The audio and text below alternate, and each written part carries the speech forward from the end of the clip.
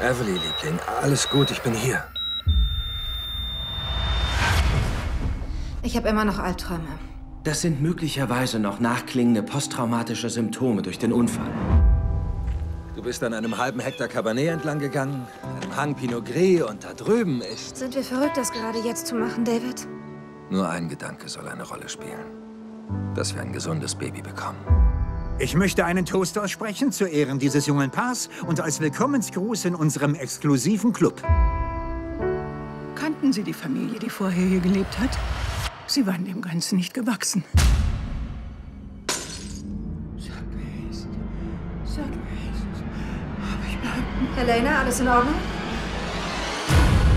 Es war, als wäre sie besessen. Wir heißen Evely in unserem Kurs willkommen. Wir übertragen Liebe und Lebensfreude in das Kind. Manchmal habe ich das Gefühl, ich verliere während dieser Schwangerschaft völlig den Verstand. Ich glaube, hier stimmt etwas nicht. Und das ist nicht bloß Einbildung. Die Weinflaschen sind einfach explodiert. Wie meinst du das?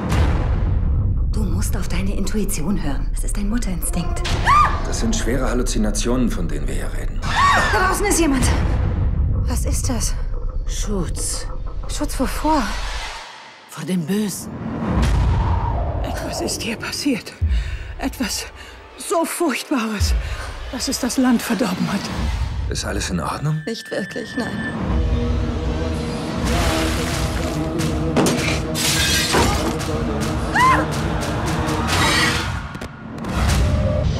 Es ist nicht, was Sie denken.